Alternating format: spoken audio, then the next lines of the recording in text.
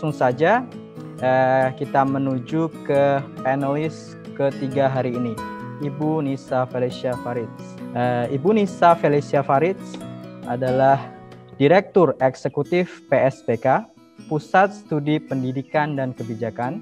Beliau memperoleh gelar PhD dalam Administrasi Pendidikan dan Studi Kebijakan di University of Albany, Sani, dan Master of Education dengan spesialisasi dalam kurikulum dan pedagogi dari University Kebangsaan Malaysia.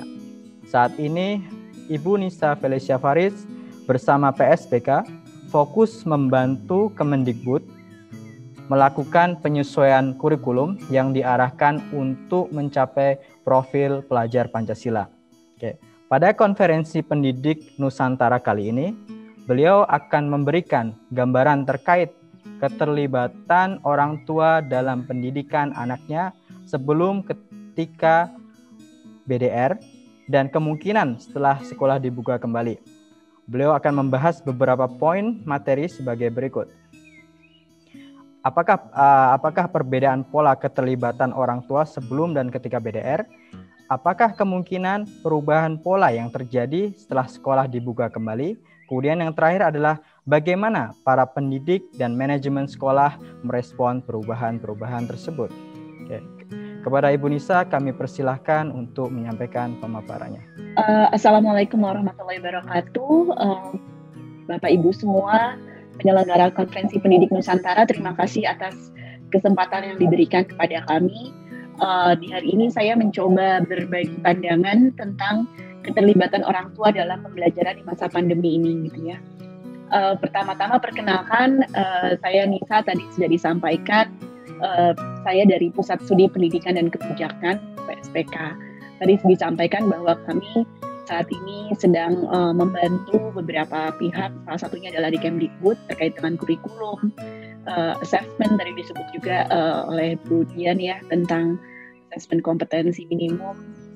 Kemudian juga ada beberapa hal lain yang kami ikut terlibat di sana uh, membantu Kemdikbud. Tetapi bukan itu saja, kami juga sebenarnya bekerja dengan pemerintah daerah uh, dan dalam konteks untuk penyiapan pembukaan kembali sekolah ini sebenarnya pekerjaan yang kami sudah mulai uh, sejak um, menjelang tahun ajaran baru waktu itu. Jadi di, dari sekitar bulan Mei Juni itu kami sudah mulai uh, menyiapkan protokol bagaimana pembukaan kembali sekolah. Tapi sampai hari ini sayangnya uh, segala rencana itu masih harus terus tertunda. Semoga uh, tidak terlalu lama tertundanya gitu ya. Tetapi uh, di situ keterlibatan PSPK dalam mengadvokasi tentang uh, apa uh, pembelajaran di masa pandemi dan juga tentang pembukaan sekolah. Kami juga sempat ngobrol gitu ya, dilibatkan juga uh, diminta pandangan untuk uh, penyesuaian kurikulum, penyederhanaan kurikulum untuk masa pandemi. Jadi kalau Bapak Ibu familiar, uh, Kemdikbud juga mengeluarkan kurikulum yang disederhanakan gitu KIKD-nya uh, supaya di masa pandemi ini guru dan apalagi siswa tidak merasa terbebani dengan uh, tuntutan pembelajaran yang terlalu berat gitu kira-kira. Dari situ uh, PSPK juga ikut memberikan pandangan-pandangan uh, terkait hal itu. Um, kami adalah sebuah non-profit gitu ya, jadi kita bukan bagian dari pemerintah, tapi kita adalah uh, think tank gitu atau konsultan untuk uh, pemerintah baik pemerintah pusat ataupun daerah. Nah, uh, itu sedikit tentang PSPK. Nah, yang menarik adalah uh, hari ini saya diminta untuk bicara tentang keterlibatan orang tua gitu. Jadi ada tiga pertanyaan besar tadi. Gimana polanya sebelum pandemi, masa pandemi, dan ke depannya kira-kira pengennya seperti apa gitu. Jadi saya rangkum menjadi satu pertanyaan besar sebenarnya. Uh, apakah sebenarnya keterlibatan orang tua itu penting nggak sih? Gitu. Bahkan ketika sudah berakhir, ini apakah perlu kita pikirin kita di sini adalah ya pendidik, ya guru, ya manajemen sekolah, ya kalau apa uh, mitra-mitra kami misalnya dinas pendidikan, uh, bahkan Kemdikbud sekalipun gitu ya, apakah penting kita um, apa memikirkan tentang bagaimana melibatkan orang tua. Nah, uh, ini sebenarnya situasinya seperti apa gitu. Sebenarnya inilah pertanyaan yang lahir dari pertanyaan yang lebih besar. Apakah kita akan kembali ke persekolahan seperti sedia kala? katakanlah amin ya semoga ini segera berakhir terus kita akan kembali seperti sedia kala uh, sekolah seperti dulu atau ini adalah sebenarnya kesempatan untuk kita belajar untuk berubah gitu.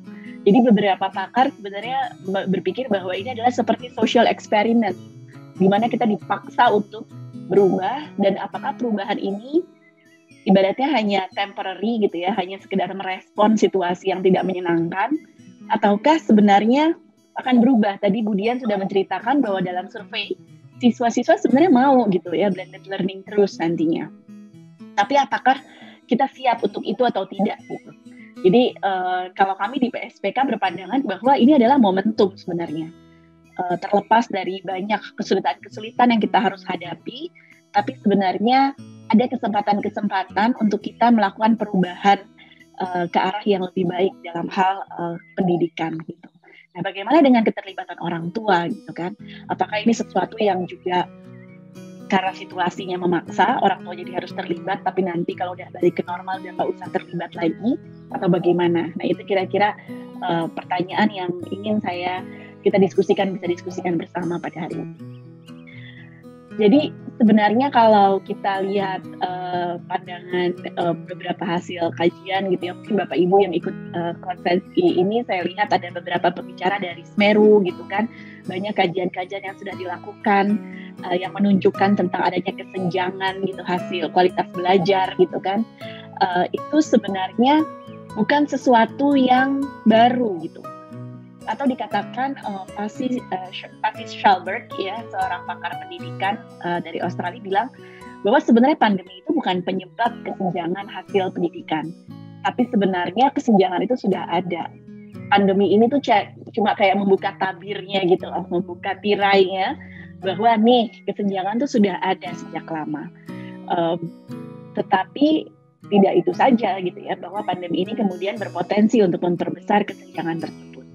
Apa sih yang dimaksud dengan kesenjangan yang sudah ada ya? Misalnya bahwa untuk uh, apa anak-anak dari keluarga miskin gitu uh, kemudian mengakses pendidikan yang lebih kurang berkualitas, yang lebih rendah kualitasnya sementara eh, anak-anak dari keluarga yang lebih sejahtera dapat uh, belajar dengan lebih baik gitu.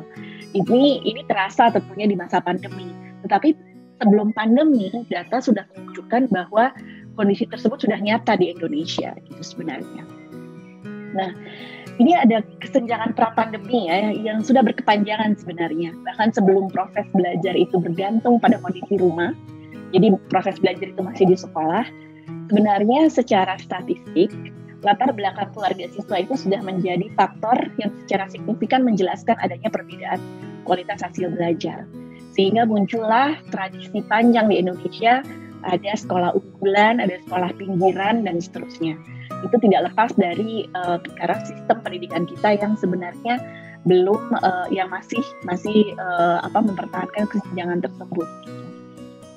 Dan um, ternyata mengakses pendidikan itu karena kami di PSPK juga uh, apa uh, melakukan uh, kajian dan juga advokasi di di area lain gitu ya. Uh, kami menemukan datanya itu menunjukkan bahwa bahkan kesempatan untuk mengakses sekolah baik itu sekolah negeri ataupun sekolah negeri unggulan itu juga ternyata dipengaruhi oleh faktor latar belakang sosioekonomik status uh, seseorang gitu. Jadi mereka yang punya akses ke bimbel gitu ya itu akan lebih besar peluangnya untuk bisa masuk ke sekolah unggulan yang nantinya kemudian masuk ke universitas unggulan dan seterusnya. Ini jadi sudah ada gitu sebenarnya sebelum pandemi. Nah kemudian apalagi dengan pembelajaran yang mengandalkan sumber daya di rumah, ini akan memperbesar gap gitu. Jadi hipotesisnya ini akan lebih besar lagi nih gapnya gitu kan ya uh, antara anak-anak yang dari keluarga miskin dan anak-anak yang dari keluarga yang lebih sejahtera tadi kita juga sudah melihat uh, apa uh, narasi tadi dari dari Kalimantan Utara, dari Papua gitu kan uh, menunjukkan bahwa betapa akses pendidikan itu belum merata di Indonesia gitu. Apalagi ini yang mengandalkan sumber daya, sumber daya internet, kemampuan orang tua dan sebagainya. Nah di situlah uh, ketika gaya pengasuhan orang tua, tadi saya juga lihat ada beberapa pertanyaan yang sepertinya uh, apa mengeluhkan gitu ya. Bagaimana ya caranya nih orang tuanya? Kok kayaknya nggak mau terlibat dalam pendidikan anak gitu. Jadi ketika sekarang nih pandemi ini lebih lebih kebergantungan terhadap kemampuan orang tua itu lebih besar lagi gitu kan gaya pengasuhan mereka akses digital di rumah. Akses digital itu bukan hanya internetnya saja, tapi juga uh, gawainya gitu kan. Dan juga sumber daya yang lainnya, ini menjadi lebih penting peranannya. Jadi nggak sulit buat kita membayangkan, uh, bahkan juga ada beberapa studi ya yang ditunjukkan nanti ada ada uh, apa dari Jepal, dari Smeru yang mungkin sudah menunjukkan uh, di dalam konferensi ini bahwa kesenjangan pendidikan itu gapnya bisa lebih besar lagi dengan adanya pandemi ini. Kenapa? Karena tadi itu anak-anak yang datang dari keluarga yang kurang sejahtera biasanya malah pergi ke sekolah-sekolah yang juga kualitas uh, apa namanya kualitas fasilitasnya dan sebagainya itu juga lebih uh, rendah dibandingkan sekolah-sekolah yang uh, mayoritas murid-muridnya dari kelas uh, menengah dan atas gitu sehingga gap ini akan semakin uh, besar gitu di dugaannya ini masih dugaan karena kami di PSPK sendiri belum melakukan kajian yang lebih empiris soal itu, yang lebih uh, apa, yang lebih real uh, tentang hal itu. Tapi rasanya tidak sulit untuk membayangkan bahwa dulu aja gitu ya yang nggak ngandelin internet di rumah, gapnya sudah ada gitu. Secara empiris sudah ada, apalagi sekarang yang mengandalkan uh, orang tua dan uh, apa sumber daya yang ada di rumah. Ada apa sih sebenarnya dengan orang tua gitu kan? Uh, apa problemnya dengan orang tua gitu. Nah ini yang sebenarnya dari PSPK kami ingin mengajak Bapak Ibu semua untuk melihat masalah ini bukan sebagai masalahnya orang tua gitu. Ini bukan masalahnya keluarga yang mas bermasalah gitu. Tetapi sistem pendidikan kita sebenarnya juga berkontribusi terhadap keterlibatan orang tua dalam pendidikan. Um, kenapa sulit dibangun? Ini bukan orang tuanya gitu ya. Mungkin kalau dari segi mikro gitu ya satu persatu memang ada orang tua yang sangat aktif yang sangat support gitu pembelajaran anak tapi ada orang tua orang tua yang kayaknya nggak peduli gitu ya. Tetapi sebenarnya secara general kalau kami melihatnya uh, ini sebenarnya karena sistemnya juga tidak membangun keterlibatan orang tua gitu sistem pendidikan Indonesia.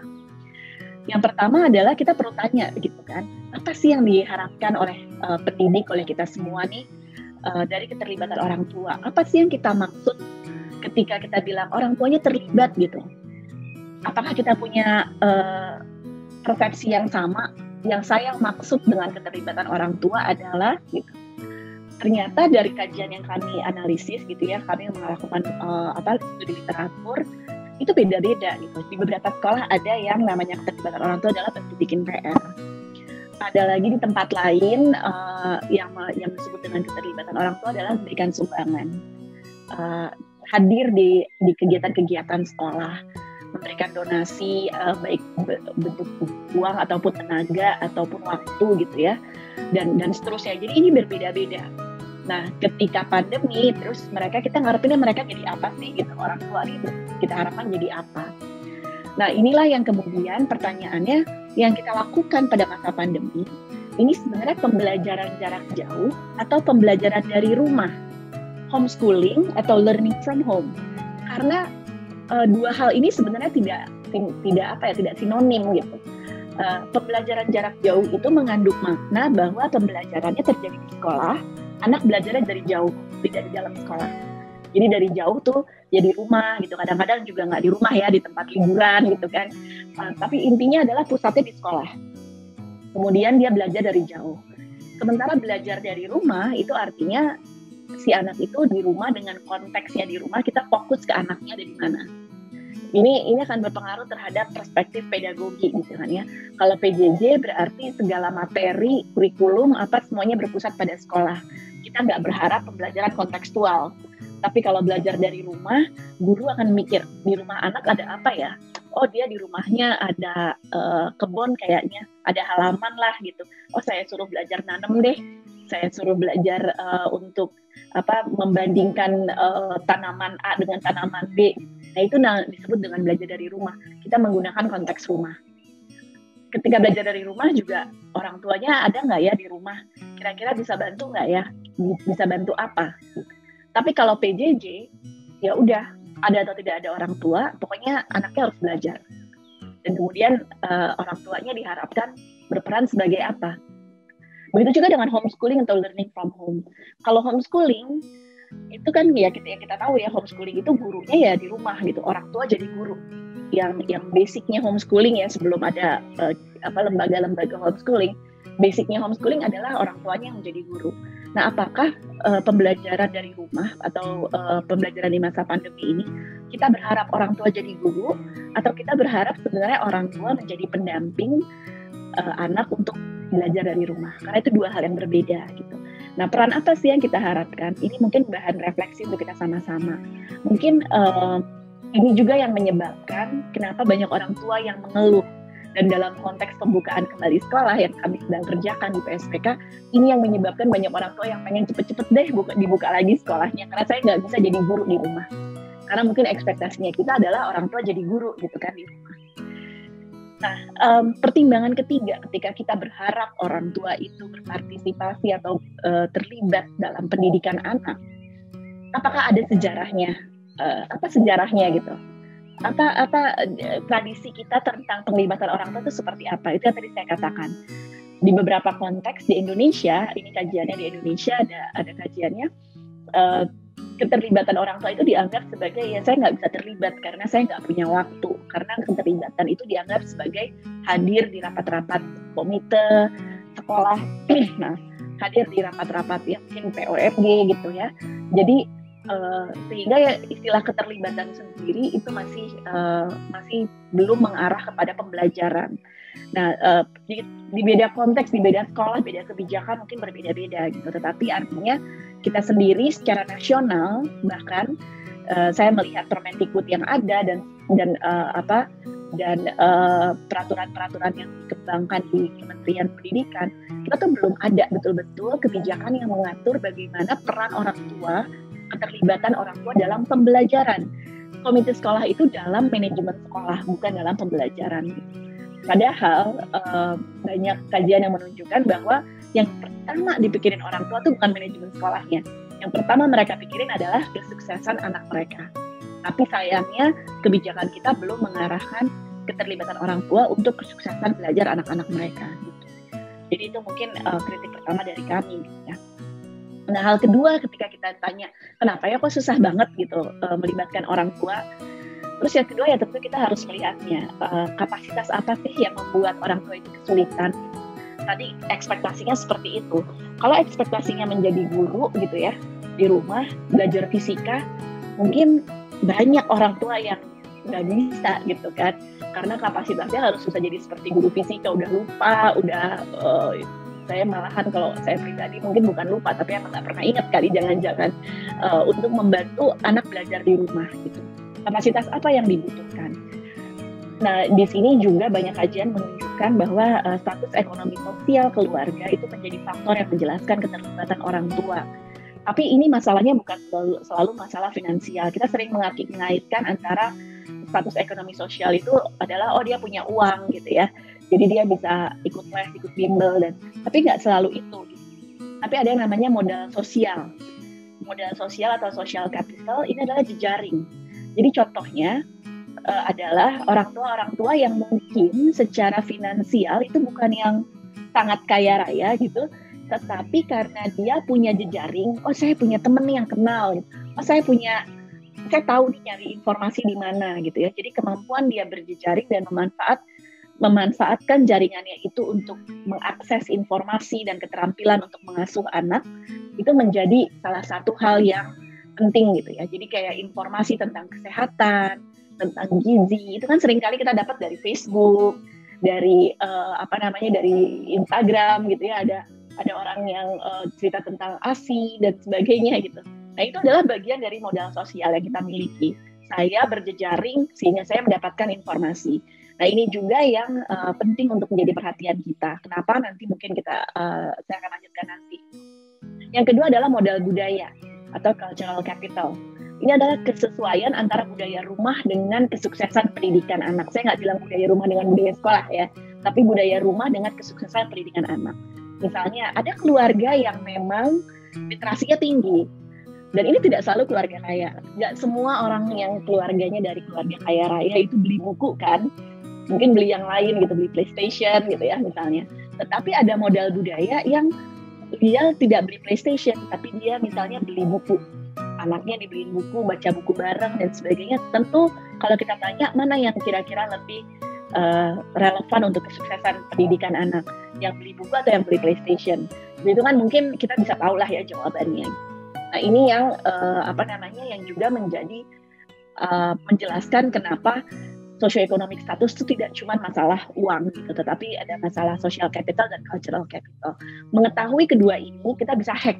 Jadi kalau bapak ibu nanti di sekolah ataupun di uh, dinas pendidikan dan sebagainya membuat kebijakan, ini kita harus pikirin. Mungkin kita nggak bisa kan menaikkan uh, ekonominya mereka gitu. Kita nggak bisa kalau masalahnya secara finansial mungkin kita dari dari sisi uh, apa pendidikan nggak bisa berbuat apa-apa ya, emang penghasilannya segitu. Tapi kita tahu, oh ya kita bisa kuatkan modal sosial mereka, kita bisa bantu membangun cultural capital mereka. Jadi misalnya kita uh, kita anjurkan orang tua untuk membaca bersama anak di rumah, atau kita anjurkan mereka untuk mengakses uh, website-website yang berguna untuk uh, pembelajaran anak atau kita anjurkan mereka untuk berjejaring supaya dapat informasi dan bisa saling sharing dan sebagainya. Ini adalah strategi-strategi yang bisa kita gunakan walaupun kita tahu misalnya secara finansial uh, kita nggak bisa berbuat banyak gitu kan dari, dari sektor pendidikan.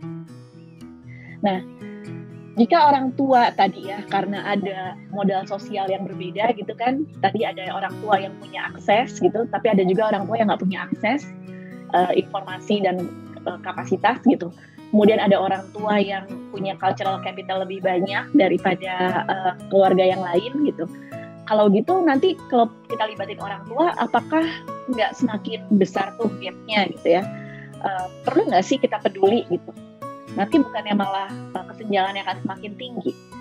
Perlu nggak sih pendi, uh, sekolah itu melibatkan orang tua, pendidik, pendidik ya, dan juga sistem pendidikan itu melibatkan orang tua? Apakah itu perlu atau tidak? Jawabannya adalah ya perlu. Kenapa? Karena mau dilibatkan atau tidak dilibatkan, secara alami itu orang tua sudah terlibat dalam pendidikan anak, ya kan? Jadi orang tua memilih sekolah aja adalah satu bentuk penglibatan mereka dalam pendidikan anak. Tidak semua orang tua kan memilih sekolah itu hati-hati gitu ya, yang dilihat dulu uh, apa dipilih-pilih. Ada orang tua orang tua yang ya udah karena namanya keren gitu, nama sekolahnya keren gitu misalnya. Ada juga orang tua yang mau milih hanya karena misalnya alasan uh, udah itu dekat rumah atau dekat kantor ibu, jadi udah kamu di situ aja. Jadi tidak itu itu pun sudah penglibatan orang tua Nah, bayangkan begitu banyak keputusan yang orang tua ambil, pilihan-pilihan yang orang tua ambil, itu yang sangat mempengaruhi pendidikan anak. Jadi uh, kita mau libatkan, kita mau pikirin atau tidak pikirin, mereka sudah terlibat gitu ya. Jadi kalau didiemin aja, apakah kita uh, oke okay nggak gitu kan? Kasihan anaknya juga kalau didiemin aja mungkin ya. Nah, yang kedua adalah kenapa kita perlu uh, penglibatan orang tua karena pendidikan itu adalah hal yang sangat kompleks dan ini uh, masa pandemi ini adalah masa yang tepat untuk kita melihat betapa kompleksnya pendidikan dan banyak hal yang kita tidak bisa lakukan. Kita nih di sini dalam hal ini adalah sektor pendidikan ya sekolah guru ini nggak bisa lakukan gitu. Misalnya adalah isu tentang well-being. Mungkin kalau Bapak Ibu baca hasil penelitiannya UNICEF di Indonesia, itu mendapati bahwa banyak kekerasan rumah di rumah yang terjadi pada masa pandemi ini, kekerasan anak yang dialami oleh anak di rumah karena orang tuanya stres, ada yang kehilangan pekerjaan dan sebagainya. Dan mereka juga mikirin gitu ya, ada orang tuanya yang uh, kehilangan pekerjaan, terus dia juga udah ngerti gitu kan, jadi dia dia sibuk mikirin itu, boro-boro mikirin sekolah dan sebagainya. Ini adalah saat di mana kita melihat betapa well-being, kesejahteraannya anak, kesejahteraan emosi terutama, itu sangat mempengaruhi kesiapan mereka belajar. Tapi kita kan di pendidikan nggak bisa berbuat apa-apa gitu ya. Mereka yang kehilangan pekerjaan lantas kita saya misalnya kalau saya kepala sekolah juga atau kepala dinas sekalipun nggak bisa berbuat apa-apa juga gitu kan kalau ada orang tua yang seperti itu maka artinya apa kita perlu um, kesejahteraan anak ini perlu kita kerjasama dengan orang tua untuk menjaga kesejahteraan mereka gitu. Sekolah tuh hanya punya kapasitas yang sedikit. Kalau dihitung jam aja yang paling sederhana banyakkan waktu anak di rumah kan daripada di sekolah. Bahkan dalam masa yang uh, tidak pandemi pun uh, seperti itu gitu. Jadi uh, sebenarnya banyak sekali kompleks kompleks sekali masalah pendidikan hasil belajar anak tuh tidak hanya dipengaruhi oleh kualitas guru tapi banyak faktor yang mempengaruhi dan itu sebabnya kita nggak bisa kerja sendirian kita perlu melibatin orang tua nah um, dan mohon maaf ya. Bu Nisa, waktunya okay. mungkin Ibu bisa menyelesaikan dalam kita beri waktu 30 menit lagi untuk menyelesaikan pemaparan. Ya, eh 30 detik. Oke. Okay. Um, poinnya adalah tidak ada orang tua yang dengan sengaja. Ini ini penting ya. Kenapa kita perlu menjaga apa uh, stick pada uh, prinsip ini? Tidak ada orang tua yang dengan sengaja ingin anaknya gagal dalam pendidikan. Namun tidak semua orang tahu cara yang baik untuk terlibat. Kenapa? Karena begitu kita bilang bahwa ah itu mah orang tua yang nggak pengen terlibat aja, itu orang tuanya nggak peduli aja. Maka cara kita mem memproyeksikan itu itu juga akan mengaruhi cara kita melakukan uh, intervensi atau strategi mengatasi masalah. Jadi sehingga uh, langkah pertama yang bisa dilakukan adalah kita percaya dulu bahwa sebenarnya semua orang tua tuh pengen. Kalau ternyata dia nggak tahu caranya ya kita bantuin gitu. Nah, apa sih yang bisa dilakukan? Tadi saya sudah sebut sedikit bahwa kita bisa intervensi dalam hal kesenjangan kapasitas atau modal tadi. Kita bikin model-model penglibatan orang tua uh, yang lebih relevan. Dan ini slide terakhir saya. Kalau kita ingin perubahan yang uh, mulai tadi ya, uh, kita sudah blended learning, kita udah uh, online learning, guru-guru sudah menggunakan teknologi. Pertanyaannya apakah semua itu termasuk pelibatan orang tua akan selesai dengan berakhirnya pandemi kalau kita percaya bahwa itu adalah praktik pendidikan yang baik dan harus diteruskan, maka yang dibutuhkan adalah bukan uh, bukan lagi sekedar teknis teknologi cara pakai teknologi, tapi perubahan paradigma. Perubahan paradigma yang pertama adalah kebijakan itu seharusnya selalu berpihak kepada anak. Kali ini di pandemi saya melihat bahkan banyak sekali kebijakan yang dibuat untuk membantu pembelajaran, bukan untuk masalah-masalah yang lain, tetapi memang fokus pada kebutuhan belajar anak uh, hal kedua yang penting adalah memandang bahwa orang tua adalah mitra. Jadi uh, ada saling kebergantungan antara guru uh, dan orang tua gitu. Jadi jangan melihat uh, orang tua itu sebagai kepanjangan tangannya atau asistennya sekolah gitu ya. Tetapi uh, juga melihatnya dengan cara yang lebih empatetik gitu, yang lebih empati antara uh, guru dan orang tua. Kedua-duanya ya orang tuanya juga melihat gurunya juga penuh em rasa empati dan sebaliknya juga. Dan yang ketiga uh, kita melihatnya perspektifnya anak. Uh, di sinilah yang yang terakhir mungkin yang mau saya tekankan kenapa uh, PSPK misalnya kita uh, motonya adalah berpihak pada anak. Kita tidak menggunakan istilah berpihak pada peserta didik gitu karena kita melihatnya anak itu sebagai satu dimensi unidimensional nggak nggak unidimensional tapi multidimensional sementara peserta didik itu unidimensional seseorang hanya menjadi peserta didik ketika dia berada di sekolah kan tapi kalau kita melihat satu individu itu sebagai anak, kita peduli juga dengan kehidupan di rumahnya. Itu aja, terima kasih. Terima kasih kepada Ibu Nisa atas pemaparan yang diberikan. Mungkin sedikit saya sebagai moderator bisa simpulkan apa yang telah disampaikan pada pemaparan Ibu Nisa tadi. Yang pertama adalah adanya kesenjangan yang nyata dalam kesempatan pendidikan sebelum pandemi, kemudian pandemi berpotensi untuk memperbesar kesenjangan tersebut. Kemudian keterlibatan orang tua dalam BDR perlu ada definisi yang tepat. Apakah orto sebagai homeschooling atau sebagai pengajar uh, di PJJ atau pembelajaran jarak jauh. Kemudian yang ketiga adalah kapasitas apa yang membuat orang tua kesulitan, mungkin dari kos kesulitan finansial, kemudian dari pengetahuan dengan keterbatasan pengetahuan dan keterampilan orang tua atau kemudian atau kebiasaan-kebiasaan yang diterapkan orang tua di rumah. Kemudian orang tua selalu terlibat dalam pendidikan anak diajak ataupun tidak diajak. Kemudian pendidikan sangat kompleks, guru membutuhkan peran orang tua sebagai pendidik di rumah. Yang terakhir adalah orang tua adalah mitra pendidik sebagai guru seperti itu.